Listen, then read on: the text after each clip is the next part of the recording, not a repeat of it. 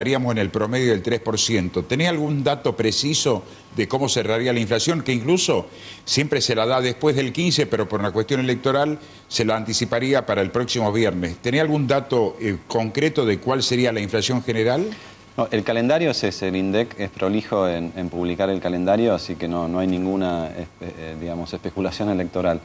Eh, digamos, las consultoras privadas, que son las que hacen este trabajo de medición este, diaria para más o menos este, estimar el índice de inflación, están hablando de niveles no muy diferentes del mes anterior.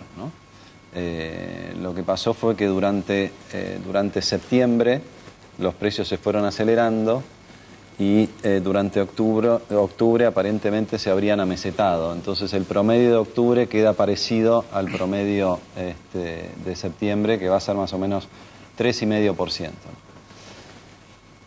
Tres y medio. ¿Qué es lo que fue el mes anterior? ¿no? ¿Qué eso qué, podría advertir, estaría advirtiendo para después de las elecciones decir qué puede pasar con la economía del día a día, con el laburante, con el jubilado, eh, en los meses de noviembre y diciembre, después del resultado que se puedan dar en las elecciones? Y vos pensás, Omar, llevamos con ese dato, si se confirma, llevaríamos, creo que son 12 meses consecutivos. Hoy la interanual sería de 52, sin noviembre ni diciembre. Hoy está en 52, eh, podría estar un poquito arriba de eso, 53, pero tenés, a pesar de que tenés el tipo de cambio pisado y las tarifas congeladas, ¿no? Y ahora además tenés control de precios. O mm. sea que en realidad vos tenés una inflación de más del 50%, con mucha inflación reprimida en el, en el sistema. ¿no? Y esa es la gran preocupación que tenemos todos, ¿no? Un gobierno que eh, ha decidido quemar las naves de cara al 14 de noviembre, eh, pero que a la ausencia de plan le agrega la ausencia absoluta de rumbo, porque a partir del 15 de noviembre no sabemos lo que sucede, ¿no? Mm. Eh, y los consumidores lo saben,